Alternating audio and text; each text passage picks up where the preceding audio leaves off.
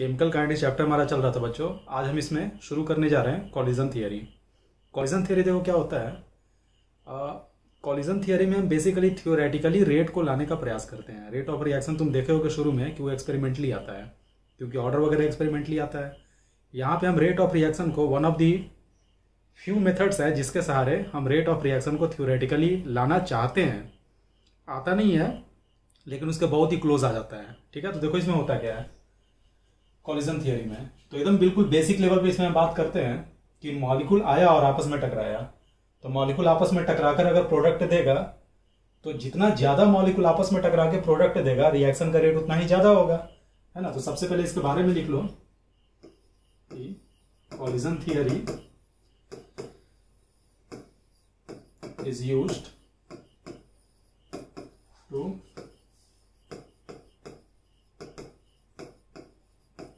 determine rate of reaction theoretically. ठीक है बच्चों? मान लो एक रिएक्शन हो रहा है सपोज़ करो ए और बी है वो आपस में रिएक्शन करके प्रोडक्ट बनाता है। ठीक है? फॉर एग्जांपल हाइड्रोजन और आयोडीन आपस में रिएक्शन करके टू एच आई बना रहा है। तो एक बात बताओ, ये प्रोडक्ट कब बनेगा? जब एक ही कमरे में हाइड्रोजन भी है आयोडीन भी है, जब हाइड्रोजन का मॉलिक्यूल हाइड्रोजन के मॉलिक्यूल से टकराएगा, तब तो प्रोडक्ट नहीं बनने वाला है। आयोडीन का मॉलिक्यूल भी आयोडीन के मॉलिक्यूल से टकराएगा तो भी प्रोडक्ट नहीं बनने वाला है। प्रोडक्ट कब बनेगा? जब हाइड्रोजन का मॉलिक्यूल आयोडीन का मॉलिक्यूल से टकराएगा तो यूनिट टाइम में, ध्यान से समझना यूनिट टाइम में हाइड्रोजन और आयोडीन के बीच में जितना टक्कर हो रहा है, क्या वहीं से हमें रेट मिलेगा? यूनिट टाइम में हाइड्रोजन आयोडीन के बीच में, मान लो फॉर द टाइम बिंग ये मान लो कि हाइड्रोजन आयोडीन के बीच में जितना टक्कर होता है, सब में प्रोडक्ट मिल जाता है। ऐसा होता नहीं है। जो मॉलिक्यूल का एनर्जी बहुत ही कम है, वो तुमको प्रोडक्ट नहीं देगा। हमारा जो जो भी जो भी हाइड्रोजन और आयोडीन है, एक दूसरे को मूव कर रहा है। कोई ना कोई काइनेटिक एनर्जी से। जब वो बहुत ही करीब आएगा तो वो काइनेटिक एनर्जी पोटेंशियल एनर्जी में कन्वर्ट होना शुरू होगा। और ये पोटेंशियल एनर्जी में जो कन्वर्ट हो रहा है, उससे जो पोटेंशियल एनर्जी में इंक्रीमेंट आएगा वो इंक्रीमेंट एक्टिवेशन एनर्जी एक टर्म होता है, बाद में बताएँगे। अगर वो एक्टिवेशन एनर्जी से ज़्यादा का इंक्रीमेंट आ गया, तब वो प्रोडक्ट देगा अदरवाइज़ वो प्रोडक्ट देने वाला नहीं है। कहने का मतलब कि मॉलिक्यूल का जो काइनेटिक एनर्जी है मॉलिक्यूल का जो काइनेटिक एनर्जी है, वो कम से कम एक्टिवेशन एनर्जी के बराबर होना चाहिए। तभी वो प्रोडक्ट देगा अदरवाइज़ वो प्रोडक्ट देने वाला नहीं है। ठीक है? तो देखो, अभी के लिए हम मान लिए कि जितना भी टक्कर हो रहा है, सब में हमको प्रोडक्ट मिल रहा है। फ़िलहाल के लिए हम ये मान लिए। तो हम ये बोल सकते हैं कि जो हमारा रेट है है ना, जो हमारा रेट है, उसका जो मैक्सिमम वैल्यू होगा, ठीक है, उसका जो मैक्सिमम वैल्यू होगा, वो जेड ए बी के बराबर होगा। जहाँ पे जेड ए बी क्या है? तो जेड होता है कितना नंबर ऑफ़ कॉलिजन हो रहा है per unit time per unit volume और ए बी जो लिखा हुआ है, और ए और बी के बीच के कॉलिजन के लिए लिखा हुआ है। यानी यह है क्या? ये है total number of collisions per unit time, per unit volume between A and B. ठीक है बच्चों? तो देखो, सारे कॉलिजन में तो प्रोडक्ट मिलेगा नहीं। इसलिए हम इसको बराबर किए हैं मैक्सिमम रेट के बराबर। मैक्सिमम रेट यानी कि हर कॉलिजन प्रोडक्ट अगर मिल जाए तब यहाँ से जो रेट आएगा वो मैक्सिमम के बराबर हो जाएगा, ठीक है? लेकिन, अगर हम रेट बराबर लिखे, अगर हम रेट बराबर लिखे, तब क्या लिखोगे? तो रेट बराबर आप लिखोगे जेड ए बी तो लिखोगे ही। हम इसको मल्टीप्लाई कर देंगे एक फैक्टर से, ठीक है? ये कौन सा फैक्टर है? तो मान लो कि टोटल नंबर ऑफ़ कॉलिजन हज़ार हो रहा है, और हज़ार कॉलिजन में मात्र 25 परसेंट मॉलिक्यूल ही ऐसा है जिसके पास सफिशियंट एनर्जी है प्रोडक्ट को बनाने का। तो ये वही फैक्टर है, ये पच्चीस परसेंट है। यानी कि एक बड़ा चार है। ये वो फैक्टर है जो बताता है, हमारा ये एफ़ जो है, ये वो फैक्टर है जो बताता है कि कितने मॉलिक्यूल का काइनेटिक एनर्जी एक्टिवेशन एनर्जी से ज़्यादा है। ठीक है? कितने मॉलिक्यूल का काइनेटिक एनर्जी एक्टिवेशन एनर्जी से ज़्यादा है। ठीक है? तो एक काम कर रहे हैं अभी हम एफ़ को लिख देते हैं, उसके बाद हम एफ़ को डिटेल में भी देखेंगे। जेड ए बी का फॉर्मूला तुमको पढ़ना नहीं है। इनफैक्ट इसका कोई फॉर्मूला तुमको नहीं पढ़ना है। तो ये बस समझने, ये पूरा का पूरा थियोरेटिकल कॉन्सेप्ट है, इसको समझ लेना अच्छे से, और फिर भी हम सबका फॉर्मूला तुमको बता ही देंगे, ठीक है? तो देखो जेड ए बी होता क्या है? जेड ए बी बराबर होता है जेड ए बी क्या बताए? Total number of collision per unit time per unit volume between A and B तो इसका फॉर्मूला होता है pi sigma A B square sigma क्या है? तो सिग्मा हमारा कॉलिजन डायमीटर होता है। कॉलिजन डायमीटर अगर कंटेनर में एक ही तरह का मॉलिक्यूल होता तो सिग्मा टू आर के बराबर हो जाता। टू आर दो मॉलिक्यूल जब टकराता है तो दोनों के सेंटर के बीच का डिस्टेंस लेकिन यहाँ पे ए और बी है। तो जब ए और बी टकराएगा तो सेंटर के बीच का डिस्टेंस हो जाएगा रेडियस ऑफ़ आर जो रेडियस ऑफ़ बी यानी कि अगर हाइड्रोजन और आयोडीन टकरा रहा है तो सिग्मा ए बी जो है, वो ए का रेडियस प्लस बी का रेडियस के बराबर है। ठीक है? यहाँ तक समझ में आया? और भी इसमें टर्म होता है। और क्या होता है? गैस स्टेट चैप्टर में एवरेज वेलोसिटी पढ़े होगे। Eight R T by pi M का रूट, चाहे eight K T by pi small M का रूट तुम पढ़े होगे। लेकिन दिक्कत यहाँ पे क्या है कि eight R T by pi M में जो मोलर मास होता है, मोलर मास ए का ले या बी का ले यहाँ पे। तो हम ये करते क्या है कि ना ए का लेते हैं, ना बी का लेते हैं, बल्कि उसके जगह पे हम एक रेड्यूस्ड मास नाम का एक टर्म लेते हैं। तो यू एवरेज को हम ऐसे लिख रहे हैं यू एवरेज रिलेटिव अभी हम इसका वैल्यू पुट करेंगे। बुक में देखोगे तो इसी के ऊपर में एक बार दे देगा। बार का मतलब हो जाता है रिलेटिव ठीक है? और इसमें मल्टीप्लाई हो जाता है N star A into N star B से। ध्यान रहे, ये बिल्कुल भी तुमको रटना नहीं है। गैसीय स्टेट में भी एक कॉलिजन थियरी आया था। तो उस कॉलिजन थियरी में इस चीज़ को डेराइव करा जाता है। ठीक है? तो वहाँ से अगर रिवाइज कर लोगे तो तुमको वहाँ पे एक्चुअली सेम मॉलिक्यूल के डिराइव करा जाता है। ये अलग अलग मॉलिक्यूल के लिए है। ठीक है? तो वहाँ से रिलेट करोगे तो तुमको बहुत ही आसानी से समझ में आ जाएगा। ठीक है? तो हम सारा टर्म लिख देते हैं, तुम वहाँ से रिवाइज कर लेना। तो u एवरेज रिलेटिव इसको तुम क्या लिखोगे? तो इसे जब हम लिखेंगे तो ये बन जाएगा पाई सिग्मा ए बी का स्क्वायर इसे क्या लिखेंगे हम? Under root eight K T जहाँ पे के बोल्ड्समैन कांस्टेंट है स्मॉल एम ठीक है? तो स्मॉल एम मोलर मास से रिलेटेड होता था स्मॉल एम हो गया मास ऑफ़ वन मॉलिक्यूल ऊपर में कैपिटल आर लिखोगे तो नीचे में कैपिटल एम लिखना पड़ेगा। लेकिन हम यहाँ पे स्मॉल एम नहीं लिख के हम यहाँ पे रिड्यूस्ड मास लिखते हैं। तो रेडियस मास रेडियस मास अगर यहाँ पे लिखोगे, इसको हटा देते हैं। और यहाँ पे हम लिख रहे हैं, एक पाई भी होता है साथ में पाई के साथ हम लिख रहे हैं म्यू एम ठीक है, जहाँ पे म्यू एम क्या होता है? म्यू एम हो जाता है रेड्यूस्ड मास और ये कैसे निकलता है? तो ये बराबर होता है M one M two divided by M one plus M two निकालने का तरीका एम वन हो गया, वैसे एक मॉलिक्यूल का मास है, लेकिन रेशियो में है तो तुम मोलर मास भी ले सकते हो। एम वन हो गया मोलर मास ए का एम टू हो गया मोलर मास पी का एम वन हो गया मोलर मास ए का एम टू हो गया मोलर मास पी का। ठीक है? तो यहाँ से निकल जाता है। और ये एन ए स्टार और एनबी स्टार क्या है? N A star into NB star तो ये है number of molecules of A per unit volume और ये है number of molecules of B per unit volume ठीक है? तो ये जेड ए बी का इतना बड़ा फॉर्मूला आता है। तुमको इससे कोई मतलब नहीं है। सीधे याद रखना जेड ए बी हो गया टोटल नंबर ऑफ़ कॉलिजन लेकिन उन सारे कॉलिजन में प्रोडक्ट हमको नहीं मिलेगा। उन सारे कॉलिजन के उसी फैक्टर में हमको प्रोडक्ट मिलेगा, जिसका एनर्जी एक्टिवेशन एनर्जी से ज़्यादा है। तो उसके लिए हम इस फ्रैक्शन से गुना कर दिए। इस फ्रैक्शन का वैल्यू क्या होता है? ये हमारे लिए इंपॉर्टेंट है। ठीक है? इतना पहले नोट करो। तो बच्चों रेट बराबर भी क्या रेट बराबर आया। Total number of collision between A and B into fraction F जहाँ पे एफ़ क्या है? Fraction of total number of effective collision effective collision का मतलब हुआ वैसा कॉलिजन जिसमें हमारा प्रोडक्ट बन रहा है। ठीक है? चाहे इसी को और क्या बोल सकते हो? Fraction of total number of molecules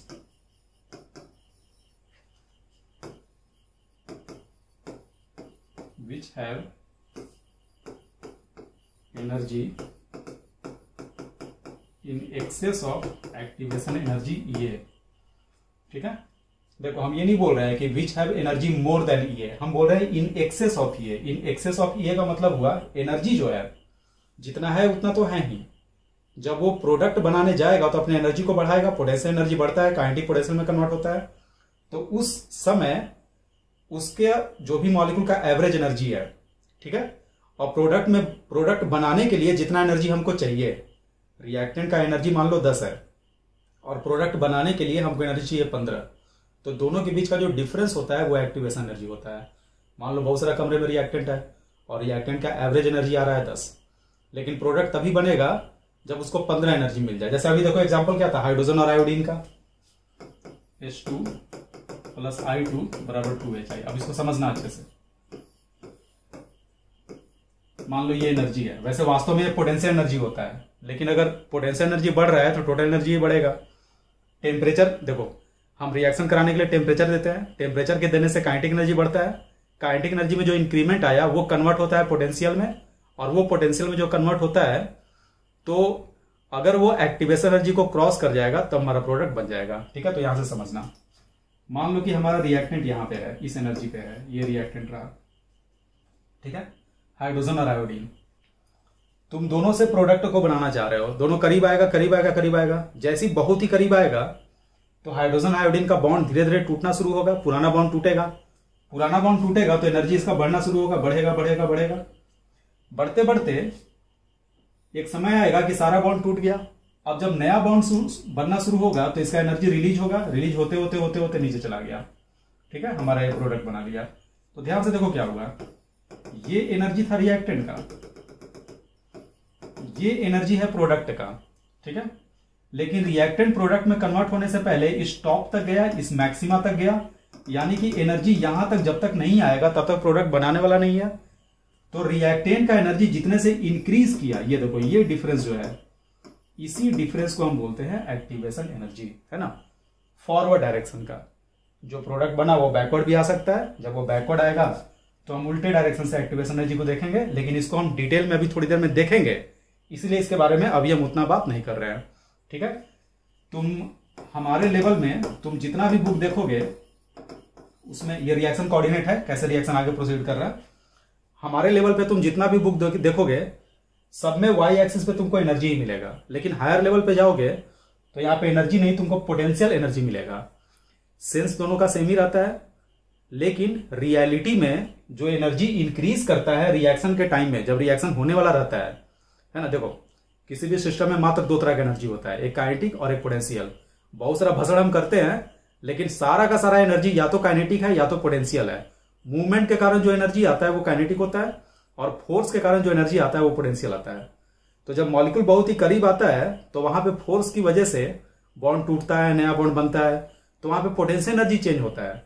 और ये पोटेंशियल आता कहाँ से है? काइनेटिक से आता है। तो पोटेंशियल एनर्जी जब तक अपना वैल्यू बढ़ाकर यहाँ तक नहीं पहुंचाएगा रिएक्शन नहीं होगा। और यहाँ तक वैल्यू बढ़ाना है, यानी कि उसमें इंक्रीमेंट आना है एक्टिवेशन एनर्जी का। तो ये एक्टिवेशन एनर्जी देगा कौन? तो मॉलिक्यूल का जो काइनेटिक एनर्जी है, वहाँ से हमको एनर्जी मिलता है। यही रीजन है कि हम यहाँ पे ऐसे भी लिखेंगे कि fraction of total number of molecules having kinetic energy more than ये एक्टिवेशन से ज़्यादा और यहाँ पे तुम्हारा मैक्सवेल इक्वेशन काम आएगा, क्योंकि मैक्सवेल इक्वेशन में याद करो हम काइनेटिक एनर्जी जो मॉलिक्यूल का वेलोसिटी था यू है ना? किसी पार्टिकुलर वेलोसिटी से कितना मॉलिक्यूल ट्रेवल कर रहा है वो निकालते थे। तो किसी पार्टिकुलर काइनेटिक एनर्जी से कितना मॉलिक्यूल ट्रेवल करेगा वो भी हम चाहे तो निकाल सकते हैं। तो यहाँ पे मैक्सवेल इक्वेशन का थोड़ा सा इस्तेमाल आएगा। हम इस फैक्टर को निकालने में मैक्सवेल इक्वेशन को यूज़ करेंगे। ठीक है? तो देखो, क्या बोल सकते हो इस फैक्टर को? इस फैक्टर को बोल सकते हो fraction of total number of effective collision effective collision का मतलब वो कॉलिजन जिसमें हमारा प्रोडक्ट बन रहा है। ठीक है? चाहे बोल सकते हो कि fraction of total number of molecules सारे मॉलिक्यूल का वो फ्रैक्शन जो अपना एनर्जी ईए से बढ़ा सकता है, ठीक है? चाहे बोल सकते हो, सारे मॉलिक्यूल का वो फ्रैक्शन जिसका काइनेटिक एनर्जी एक्टिवेशन एनर्जी से ज़्यादा है। जिसका काइनेटिक एनर्जी एक्टिवेशन एनर्जी से ज़्यादा है, क्यों? क्योंकि काइनेटिक एनर्जी ही इस इंक्रीमेंट को देता है। मॉलिक्यूल जितना तेज़ी से दौड़ता हुआ आएगा, उसका काइनेटिक एनर्जी उतना ज़्यादा। और जितना ज़ोर से दौड़ता हुआ आएगा और टकराएगा तो प्रोडक्ट बनने की संभावना उतनी ही ज़्यादा। क्यों? क्योंकि काइनेटिक एनर्जी अगर बहुत ज़्यादा है तो वह आराम से पोटेंशियल में कन्वर्ट होगा और प्रोडक्ट हमारा बना देगा। ठीक है? तो इतना से एनर्जी बढ़ना है ई e से तो मान लो कि 10 से एनर्जी बढ़ना है और मॉलिक्यूल का काइनेटिक एनर्जी टोटल आठ ही है तो वो तुमको कहाँ से दे पाएगा? वो प्रोडक्ट नहीं बना पाएगा। तो वही मॉलिक्यूल तुमको 10 का एक्टिवेशन एनर्जी देगा, जिसका काइनेटिक एनर्जी 10 चाहे 10 से ज़्यादा हो। ठीक है? इसीलिए हम इस तरीके से भी इसको डिफाइन कर रहे हैं। ठीक है बच्चों? यहाँ तक समझ में आ गया? अब देखो। ये जो फ्रैक्शन है, इस फ्रैक्शन को निकालने के लिए अब हम जाने वाले हैं मैक्सवेल के इक्वेशन पे। ठीक है? इस ग्राफ पे हम फिर से आएँगे। इसमें बताएँगे कि फॉरवर्ड का क्या होता है बैकवर्ड का क्या होता है थर्सो एनर्जी क्या होता है, सारा भी हम डिटेल में देखेंगे। अभी जो हम बता रहे हैं, वो किसी भी काम का नहीं है, केवल समझने का है। जब काम का आएगा तो हम आप लोगों को बता देंगे। ये जो शुरू होगा ना तो यहाँ से सारा का सारा काम का आना शुरू हो जाएगा। ठीक है? तो इतना पहले नोट कर लो। देखो बच्चों, अब यहाँ से हम हेडिंग दे रहे हैं। अब देखो यहाँ से काम का है। From Maxwell equation Maxwell equation से याद करो, चाहे रिवाइज कर लेना। हमने ग्राफ बनाया था one by N D N by D U का, और यहाँ पे हमने लिया था यू फिर हमने हाफ़ काइनेटिक एनर्जी बराबर हाफ़ एम यू स्क्वायर लिख के तुम यू को काइनेटिक एनर्जी से रिप्लेस कर सकते हो। तो हम चाहे तो सेम ग्राफ बना सकते हैं काइनेटिक एनर्जी के लिए, और यहाँ पे आ जाएगा D N by D kinetic energy जो है, यही हमारा कैपिटल ई e से हम रिप्रेजेंट कर रहे हैं। तो इक्वेशन हमारा सिमिलर ही आता है। वहाँ पे हम कराए थे गैस स्टेट में, उसको जाकर अगर देखोगे तो तुमको इक्वेशन मिलेगा सिमिलर ही आता है, और उसका भी ग्राफ यही होता है, इसी तरह का। मैक्सवेल का जो यू से रिलेटेड ग्राफ था, और क्या बताए थे हम यहाँ पे? कि अगर मान लो तुम कोई भी एक रेंज ले लेते हो है ना वन से लेके टू तक।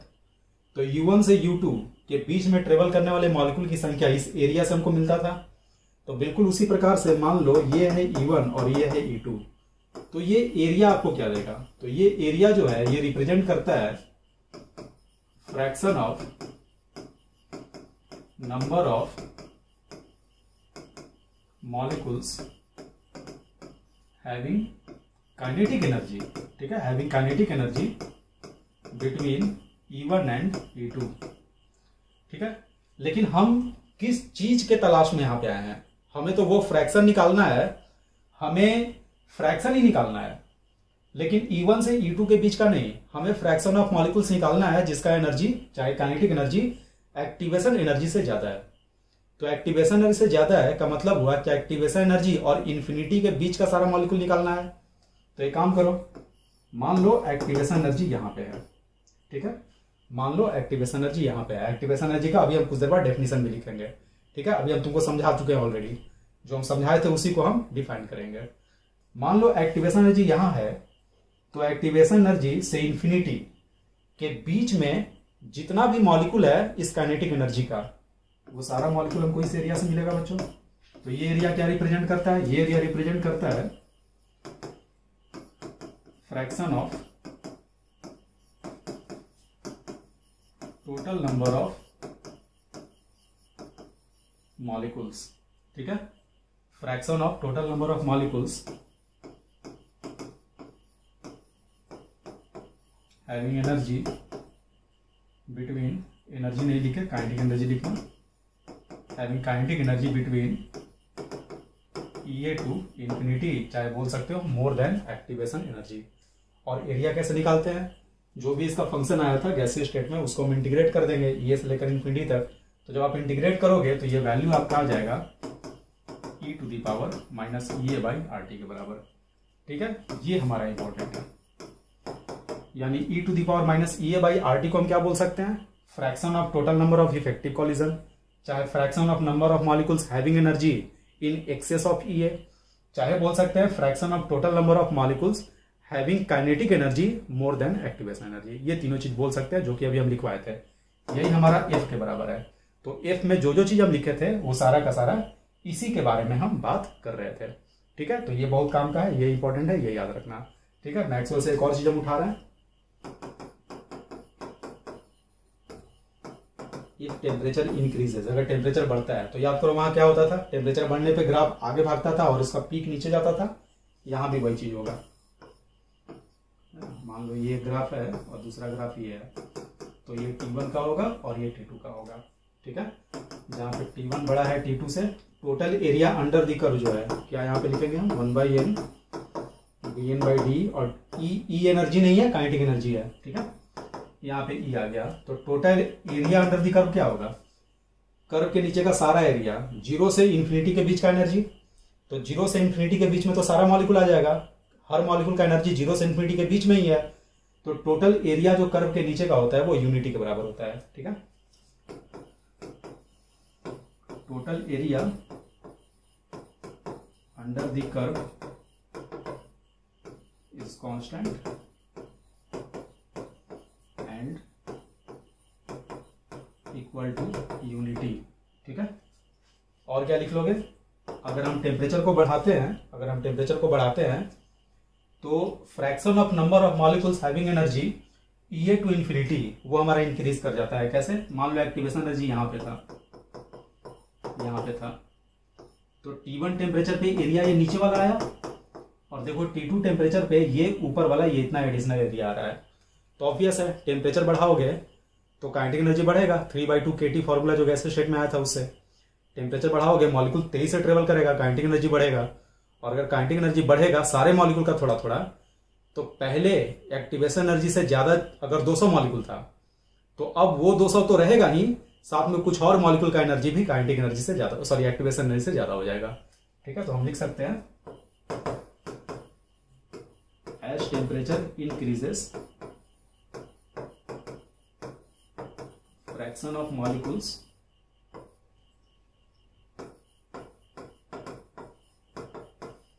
having kinetic energy more than EA also increases. ठीक है? इसको निकालने का एक और तरीका, सीधे यहीं से देख लो। अगर टेम्परेचर बढ़ेगा तो टेम्परेचर डिनोमिनेटर में है। तो टेम्परेचर बढ़ेगा तो E A by R T घटेगा। अगर E A by R T घटेगा तो minus E A by R T बढ़ेगा। और minus E A by R T अगर बढ़ेगा तो ये पूरा का पूरा एक्सप्रेशन बढ़ेगा। ठीक है? और ये एक्सप्रेशन बढ़ेगा तो फ्रैक्शन ऑफ़ मॉलिक्यूल बढ़ जाएगा। ठीक है? डन हो गया यहाँ तक? नोट कर लो। तो अब देखो बच्चों, हमारा रेट बराबर क्या आ गया? रेट बराबर आ गया जेड ए बी इंटू ये फ्रैक्शन था। अब हम इसे लिख सकते हैं Z A B E to the power minus E A by R T जहाँ जेड ए बी का वैल्यू कितना था? जेड ए बी था pi sigma A B square है ना? ये कितना आया था? Under root eight K T by pi mu into N A star into N B star N A star N B star को उसमें हम लिखे नहीं थे, लिख देना यहाँ पे। एन ए स्टार जो है number of molecules of A per unit volume है। कहने का मतलब अगर तुम इसको एवोगैड्रो नंबर से डिवाइड कर दोगे तो number of mole per unit volume यानी कंसेंट्रेशन आ जाएगा। ठीक है? एन बी स्टार भी उसी तरह से number of molecules of B per unit volume है। इसे भी अगर एवोगैड्रो नंबर से डिवाइड कर दोगे number of mole of B per unit volume यानी कंसेंट्रेशन आ जाएगा। कहने का मतलब ये दोनों का दोनों कंसेंट्रेशन के प्रोपोर्शनल है, ठीक है? खैर, अब देखो। अब देखो यहाँ पे क्या हो रहा है। एक और हम नया चीज़ इसमें इंट्रोड्यूस करने वाले हैं। तुम क्या देखे? रेट कहाँ से मिलेगा? टोटल नंबर ऑफ़ कॉलिजन ये टोटल नंबर ऑफ़ कॉलिजन है, लेकिन सारे कॉलिजन में हमको प्रोडक्ट नहीं मिलेगा।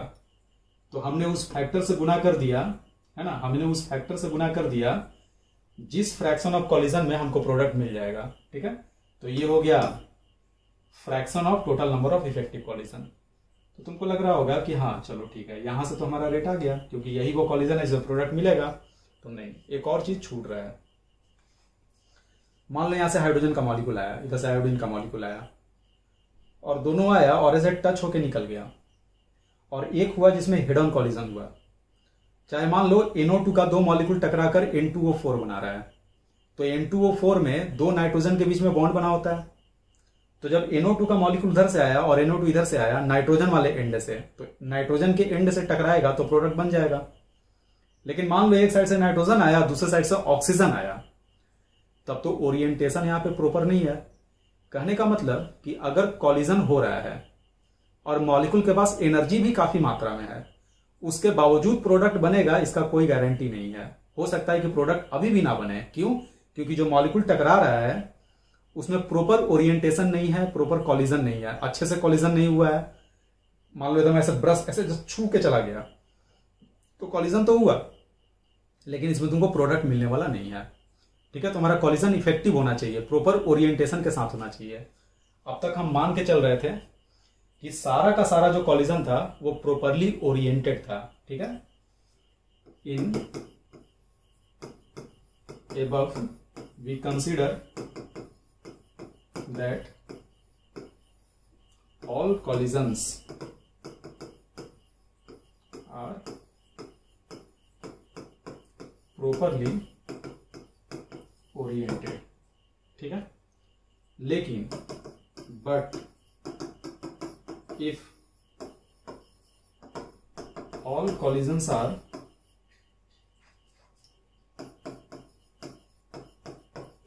properly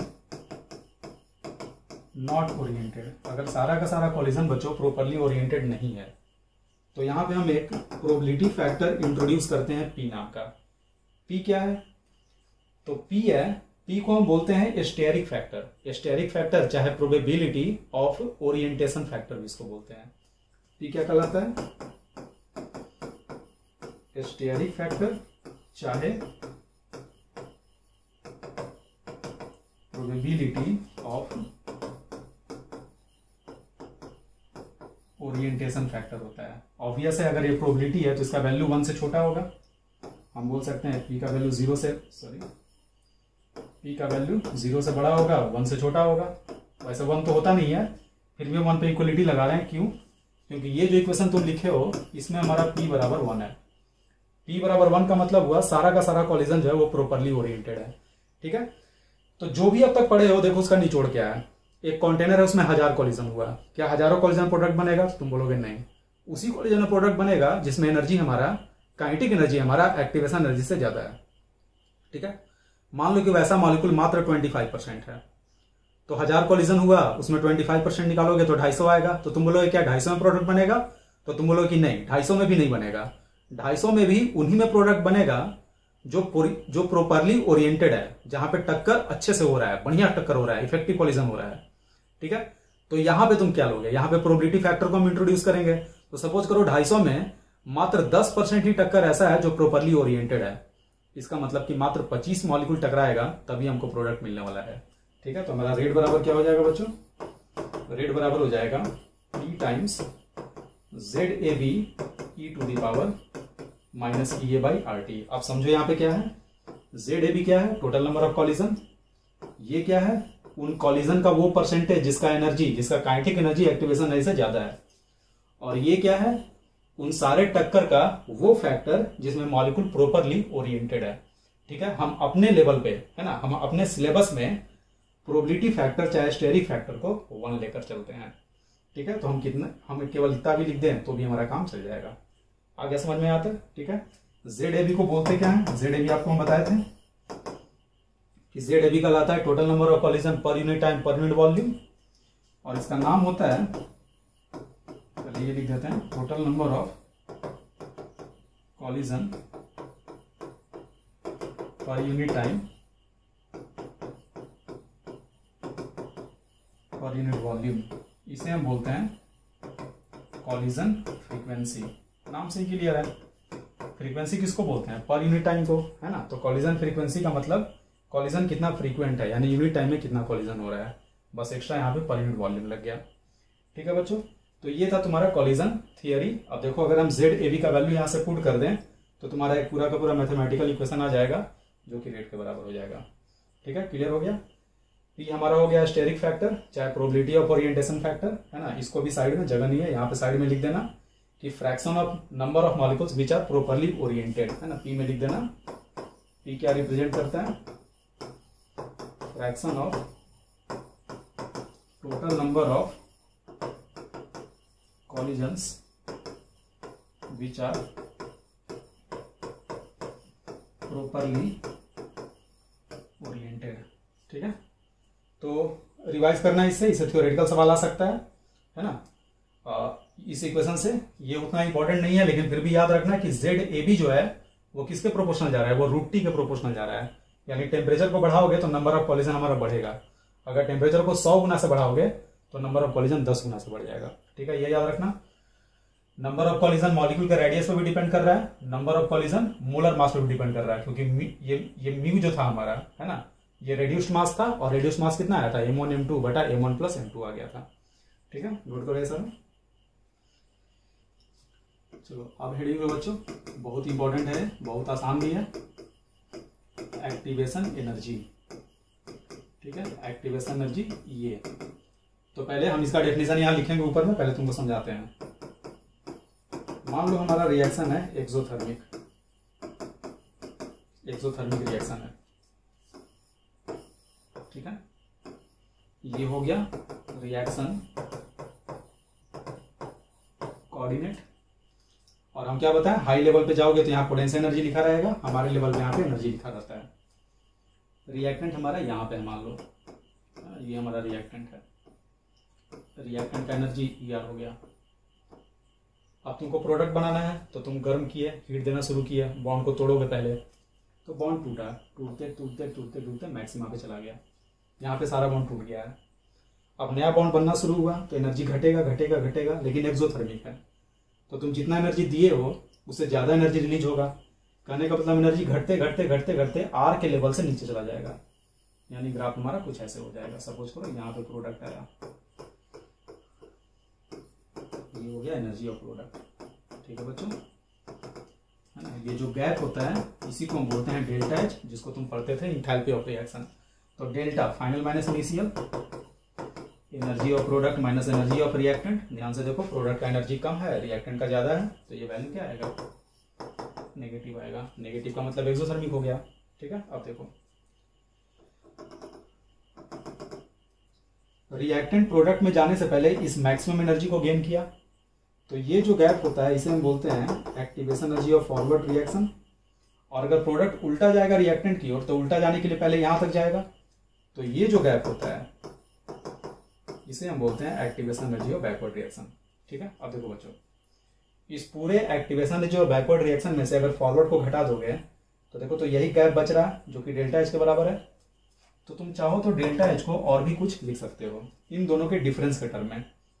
लेकिन ये नेगेटिव है तो नेगेटिव है तो छोटे वाले में से बड़े वाले को घटाओगे। तो हम यहाँ पे क्या लिखेंगे? ये बहुत इंपॉर्टेंट है, याद रखना न्यूमेरिकल वाला पार्ट अब तुम्हारा शुरू हो गया है, ठीक है? तो ई एफ़ माइनस ई ए भी हम लिखेंगे यहाँ पे। यहाँ तक आ गया समझ में? अब देखो। ये जो गैप है, ये गैप क्या कहलाता है? एक्टिवेशन एनर्जी तो हम इसको कैसे डिफाइन करें? तो हम बोलेंगे कि रिएक्टेंट का जो एवरेज एनर्जी होता है, ये रिएक्टेंट का एवरेज एनर्जी हुआ। हर रिएक्टेंट का एनर्जी अलग अलग है। तो हम एवरेज की बात कर रहे हैं। तो प्रोडक्ट बनाने से पहले जो मिनिमम एनर्जी चाहिए होता है ओवरऑल ये मिनिमम एनर्जी हो गया ओवरऑल प्रोडक्ट बनाने से पहले जो मिनिमम एनर्जी चाहिए होता है, वो एनर्जी और जो रिएक्टेंट का एवरेज एनर्जी है, उसके बीच के गैप को हम बोलते हैं एक्टिवेशन एनर्जी क्लियर हो गया यहाँ तक? प्रोडक्ट बनाने के लिए जो मिनिमम एनर्जी हमें चाहिए होता है, वो एनर्जी और जो रिएक्टेंट का एवरेज एनर्जी है, उन दोनों के बीच के गैप को हम बोलते हैं एक्टिवेशन एनर्जी ठीक है तो हम क्या डिफाइन करें?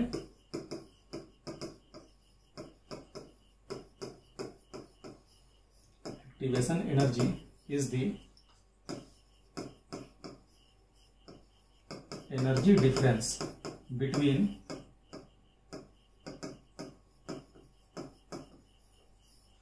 minimum energy required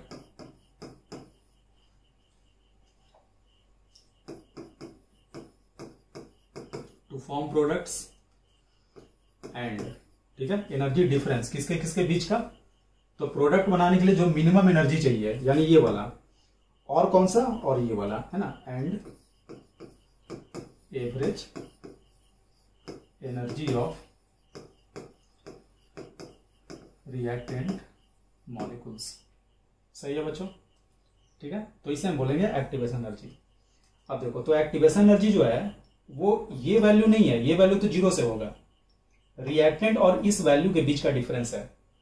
तो ये वैल्यू ये वैल्यू जो होता है, अगर ज़ीरो से देखोगे ज़ीरो से तो ये वो एनर्जी है जिसको क्रॉस करना पड़ेगा प्रोडक्ट बनाने के लिए, यानी एक थर्शोल्ड हो गया है तो इसे हम बोलते हैं थर्शोल्ड एनर्जी है ना? ईटीएच e ज़ीरो से अगर इसका गैप लोगे तो। सपोज़ करो ये दस है और ये पच्चीस है। तो एक्टिवेशन एनर्जी कितना होगा? तो तुम बोलोगे पच्चीस माइनस दस, यानी पंद्रह होगा। ठीक है? लेकिन अगर तुमसे पूछा जाए थर्शल एनर्जी कितना होगा तो तुम बोलोगे पच्चीस होगा। ये जो इसे क्या बोलते हैं? इसे हम बोलते हैं ट्रांजिशन स्टेट चाहे हम इसे एक्टिवेटेड कॉम्प्लेक्स भी बोलते हैं। ट्रांजिशन स्टेट, चाहे हम बोलेंगे एक्टिवेटेड कॉम्प्लेक्स। ठीक है? क्या क्या सीखे? रिएक्टेंट से मैक्सिमा के बीच का डिफरेंस एक्टिवेशन एनर्जी फॉरवर्ड का। प्रोडक्ट से मैक्सिमा के बीच का डिफरेंस एक्टिवेशन एनर्जी बैकवर्ड का। और ज़ीरो से मैक्सिमा के बीच का डिफरेंस थर्शोल एनर्जी होता है। ठीक है? थर्शोल एनर्जी वो ओवरऑल एनर्जी होता है जो हमें प्रोडक्ट बनाने के लिए चाहिए, मिनिमम। और थर्शोल एनर्जी और रिएक्टेंट के एनर्जी के बीच का जो गैप होता है, उसे भी तुम एक्टिवेशन एनर्जी बोल सकते हो। ये एक्टिवेशन एनर्जी आता कहाँ से है? तो ये काइनेटिक एनर्जी से आता है। तो यही रीजन है, इसका हम एक और डेफिनेशन बोल सकते हैं। Activation energy is the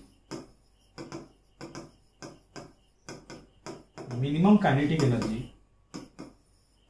to form products ठीक है? Minimum kinetic energy to form product product बनाने के लिए जो कम से कम हमको काइनेटिक एनर्जी चाहिए, क्योंकि वही कन्वर्ट होता है एक्टिवेशन एनर्जी में। चलो, एक बात बताओ। अगर ये एक्सो का ग्राफ है तो क्या तुम विंडो का ग्राफ खुद से खींच सकते हो? ठीक है तो देखना ट्राई करना। हम भी खींचते हैं, बताओ सही खींच रहे हैं, गलत? इंडोथर्मिक रिएक्शन तो में डेल्टा एस क्या होता है? पॉजिटिव और एक्सो में डेल्टा एस क्या होता है? नेगेटिव ठीक है तो यहाँ अगर ग्राफ खींचोगे तो ये फिर से हो गया रिएक्शन कोऑर्डिनेट यहाँ पे ले रहे हैं हम अपने लेवल पे एनर्जी हमारा रिएक्टेंट सपोज़ करो, ये रहा। एनर्जी दोगे ट्रांसन स्टेट में गया, अब एनर्जी रिलीज़ करेगा, लेकिन इंडो है। तो जितना लिया, उससे कम रिलीज़ करेगा, यानी प्रोडक्ट हमारा ऊपर ही रह जाएगा ऐसे। ये हो गया प्रोडक्ट ये हो गया एनर्जी ऑफ़ रिएक्टेंट ये हो गया एनर्जी ऑफ़ प्रोडक्ट ठीक है? इस गैप को फिर से हम क्या बोलेंगे बच्चों? डेल्टा एच डेल्टा एच बराबर प्रोडक्ट माइनस रिएक्टेंट का एनर्जी जो कि बराबर कितना आएगा? तो देखो प्रोडक्ट इस बार ज़्यादा है रिएक्टेंट कम है। तो इस बार पॉजिटिव आएगा। इसे क्या बोलेंगे? ट्रांसन स्टेट चाहे एक्टिवेटेड कॉम्प्लेक्स ये एफ़ ये हो जाएगा फॉरवर्ड एक्शन का एक्टिवेशन एनर्जी ये गैप हो जाएगा बैकवर्ड एक्शन का एक्टिवेशन एनर्जी ठीक है?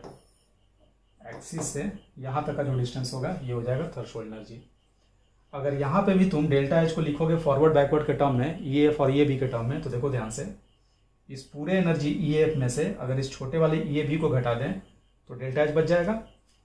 तो यहाँ भी अगर आप डेल्टा एच लिखोगे तो आ रहा है ये F minus E A B तो ये इंपॉर्टेंट हो गया. क्यों? क्योंकि एक्सो में भी यही इक्वेशन आया था E F minus E A B और इंडो में भी सेम आया. तो डेल्टा एच बराबर होता है एक्टिवेशन एनर्जी फॉरवर्ड का minus activation energy backward direction का। ठीक है? नोट कर लो चलो, अगला हेडिंग दो बच्चों। आर्गेनियस इक्वेशन आर्हेनियस इक्वेशन क्या होता है? तो आर्गेनियस इक्वेशन होता है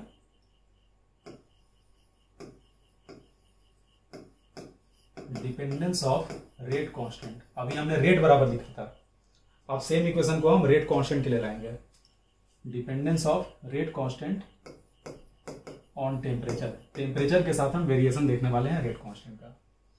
ठीक है? तो मान लो फिर से अगर हम वही ले लें रिएक्शन ए प्लस बी बराबर प्रोडक्ट और ये एलिमेंट्री रिएक्शन है तो रेट बराबर क्या आएगा? K times concentration of A into concentration of B और अभी हमने रेट बराबर निकाला था orientation factor into collision frequency into E to the power minus A by R T यानी fraction of total number of effective collision इसका नाम Boltzmann factor भी होता है। नाम बता देते हैं। चौकना मत, कहीं दिया रहेगा तो। इसको हम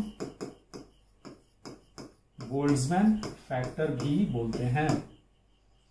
ठीक है? तो देखो अब यहाँ से।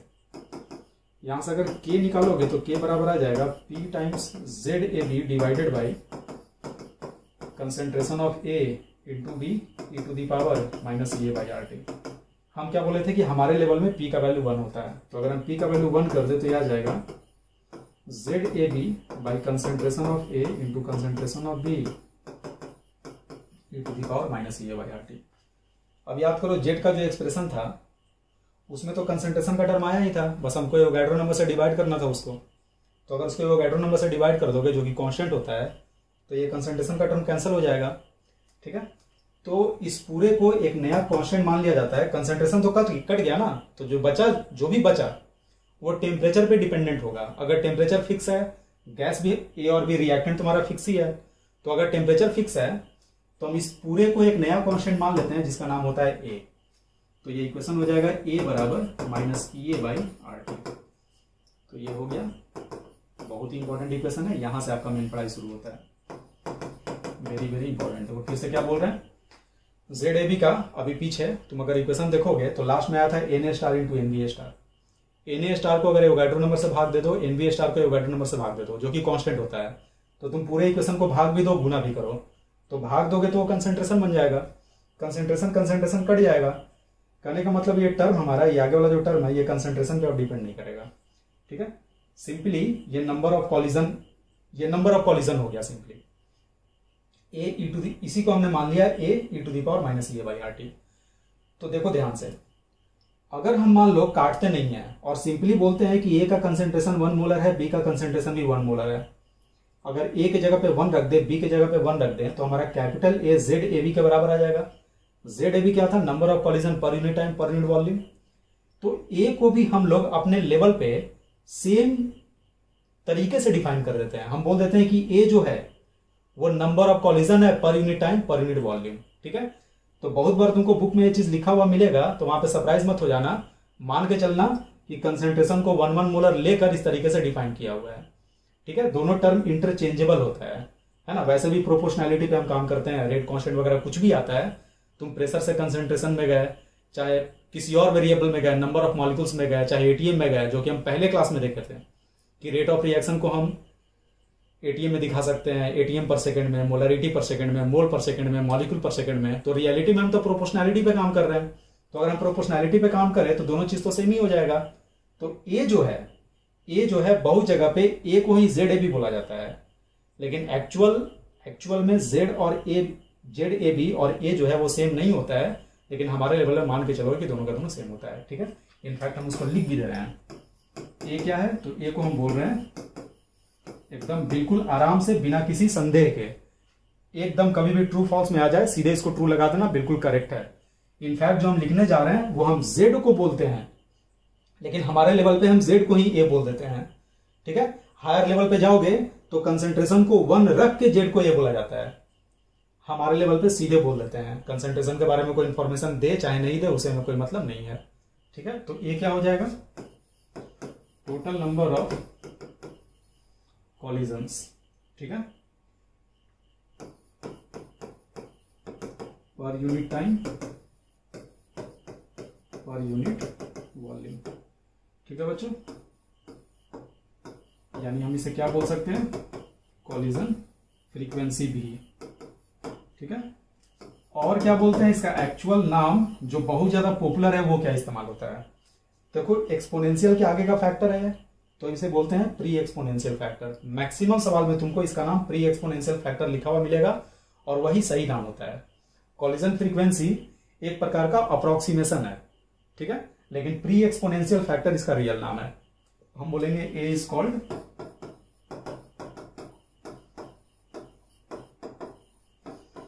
pre exponential factor चाहे इसे क्या बोलते हैं? फ्रीक्वेंसी फैक्टर क्यों बोलेंगे फ्रीक्वेंसी फैक्टर क्योंकि नंबर ऑफ़ कॉलिजन का ये फ्रीक्वेंसी बता रहा है है ना? यूनिट टाइम में कितना कॉलिजन हो रहा है, ये बता रहा है। फ्रीक्वेंसी फैक्टर और क्या बोल सकते हैं? बिकॉज़ की आरहेनियस इक्वेशन है तो हम इसे हम आरहेनियस फैक्टर भी बोलते हैं। ठीक है बच्चों? नोट कर लो ये सारा।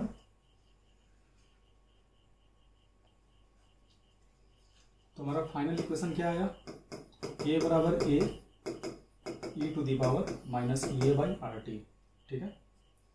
ए का यूनिट क्या होगा? यूनिट ऑफ़ ए होता है पर यूनिट टाइम। अगर दोनों साइड एल एन ले लेते हो तो ये बन जाएगा एल एन के बराबर L N A to the power minus A by R T यानी L N A plus L N E to the power minus A by R T L N A power आगे आ जाएगा तो minus A by R T L N exponential का value one हो जाएगा। तो ये हो गया L N A minus A by R T ऐसे तो हमारा नंबर ऑफ़ कॉलिजन टेम्परेचर पे डिपेंड करता है, लेकिन मैक्सिमम सवाल में दे देगा कि ए हमारा टेम्परेचर से इंडिपेंडेंट है। टेम्परेचर चेंज करने से प्री एक्सपोनेंशियल फैक्टर चेंज नहीं कर रहा है, ऐसा दिया हुआ रहेगा। ठीक है दिया हुआ है तो दिया हुआ है, जो दिया हुआ है वो लेकर हम चलेंगे। तो एल एन के बराबर क्या आ गया? L N A minus E A by R T अब यहाँ से देखो तो एज टेम्परेचर इंक्रीजेस जैसे जैसे टेम्परेचर हमारा इंक्रीज करेगा तो टेम्परेचर बढ़ाओगे तो E A by R T घटेगा।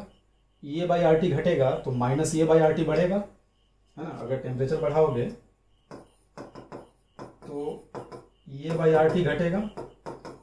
ये बाई आर टी घटेगा तो माइनस ये बाई आर टी बढ़ेगा और minus E A by R T बढ़ेगा तो एल एन के भी बढ़ेगा।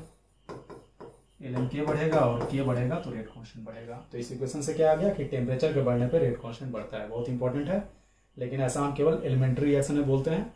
कॉम्प्लेक्स रिएक्शन में बढ़ भी सकता है, घट भी सकता है, जो कि प्रूफ होगा बाद में। मेकानिज्म ऑफ़ रिएक्शन जब पढ़ेंगे तो वो चीज़ प्रूफ होगा। ठीक है? यहाँ तक क्लियर हो गया। अब देखो तो इसका ग्राफ क्या आएगा। अगर हम ग्राफ खींच दें L N K versus one by T का। ठीक है? वन बाई टी तो देखो तो ये स्ट्रेट लाइन का इक्वेशन आ गया। बहुत इंपॉर्टेंट है, याद रखना।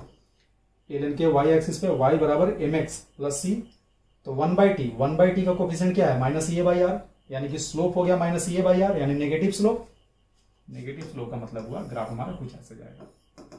अगर एंगल थीटा है तो स्लोप बराबर आएगा टेन थीटा और ये हो जाएगा माइनस ए बाई आर और इंटरसेप्ट कितना है? तो इंटरसेप्ट है हमारा एल एन ए के बराबर।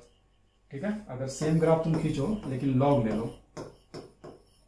लॉग के और यहाँ पे वन बाई टी तो लॉग केटर केटर में लिखोगे तो क्या आएगा? देखो तो।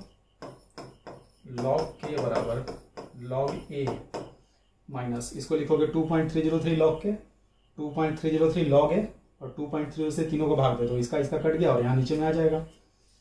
यानी हो गया A upon two point three zero three R T graph का नेचर सेम होगा।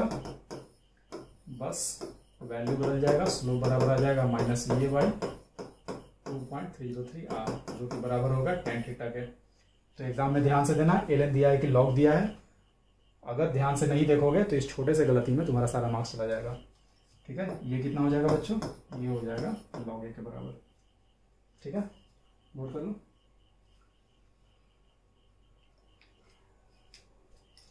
देखो बच्चों, ये सवाल तो बोल रहा है in reaction carried out at 400 hundred kelvin 0.001 percent of total number of collision are effective तो बोल रहा है, ये कितना होगा? तो क्या बोल रहा है कि इतना परसेंट कॉलिजन इफ़ेक्टिव है? है ना परसेंटेज में दिया है तो उसी का फ्रैक्शन क्या हो जाएगा? फ्रैक्शन ऑफ़ इफ़ेक्टिव कॉलिजन तो फ्रैक्शन कितने में निकालते हैं? वन में? तो फ्रैक्शन हो जाएगा zero point zero zero one upon hundred और fraction of total number of effective collision को हमने अभी निकाला था मैक्सवेल इक्वेशन से कि बराबर होता है E to the power minus A by R T बस इसको सॉल्व करो और ये निकाल लो। तो यहाँ से क्या आ जाएगा? E to the power minus A by R T ये हो गया टेन टू दी पावर है ना? माइनस फाइव दोनों साइड एल ले लो तो ये आगे आ जाएगा। Minus A by R T और यहाँ पे एल लोगे तो डायरेक्ट हम लिख रहे हैं two point three zero three है ना? एल को लॉग में बदल दिया माइनस फाइव आगे आ गया। माइनस फाइव और लॉग टेन का वैल्यू हो जाएगा ज़ीरो माइनस से माइनस कट गया तो यहाँ से ये बराबर आ गया। Two point three zero three into five into R T अगर हमारा एक्टिवेशन एनर्जी कैलोरी में दिया है तो आर को तुम कैलोरी में लोगे जूल में दिया है eight point three one four लोगे। टेम्परेचर कितना है? चार सौ मान लो हम कैलोरी में निकाल रहे हैं। एक्टिवेशन एनर्जी आ जाएगा two point three zero three into five into two temperature है चार सौ केल्विन इतना कैलोरी हो जाएगा। आगे आंसर अगला पढ़ो। For a first order reaction carried out at सत्ताईस डिग्री सी इफ़ इतना percent of reacted molecules are in activated state same सवाल है। वो परसेंटेज को हम इफ़ेक्टिव नंबर ऑफ़ कॉलिजन भी बोलते हैं। चाहे ये भी बोलते हैं कि fraction of total number of molecules in activated state चाहे in energy in excess of E तो यहाँ भी हम डायरेक्ट लिख सकते हैं। E to the power minus A by R T is equal to हो जाएगा three point eight into ten to the power minus sixteen fraction के लिए हंड्रेड से डिवाइड कर दिए। फिर से वही काम करना एल एन ले लो तो minus A by R T बराबर, यहाँ एल एन अगर लोगे तो ये हो जाएगा three point eight into ten to the power minus eighteen ठीक है? तो इसको हम लिख सकते हैं two point three zero three और ब्रैकेट में आएगा।